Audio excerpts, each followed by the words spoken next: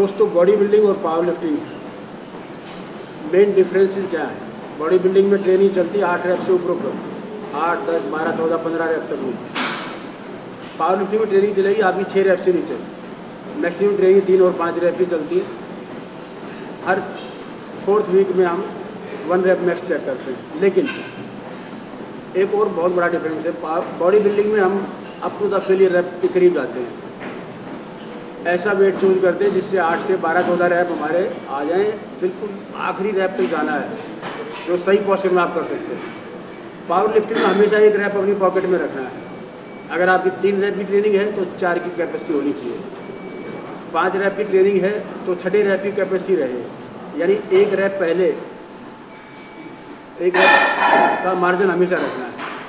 अगर अगर आप पावर लिफ्टिंग को फेलियर रैप ले जाएँगे ना तो नेक्स्ट ट्रेनिंग में आपका लोड नहीं बढ़ पाएगा। बॉडी बिल्डिंग में रेस्ट टाइम चलेगा आपका दो मिनट से नीचे नीचे।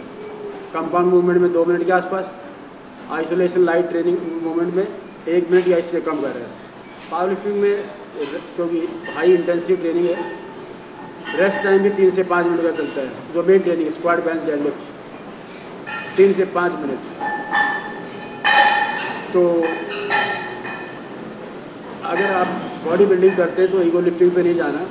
छः रैप से कम की ट्रेनिंग आपको किसी काम की नहीं है। और अगर आप पावर लिफ्टिंग करते हैं तो अपने कंपटीशन डेज़ में आप हाई इंटेंसिटी वर्कआउट ही करें। एक ट्रेनिंग तीन रैप की, एक पाँच रैप की, एक आठ रैप की ट्रेनिंग लाइट आठ रैप की फिफ्टी परसेंट से। वो डिलोड करने के लिए। महीने में एक बार चेक करें।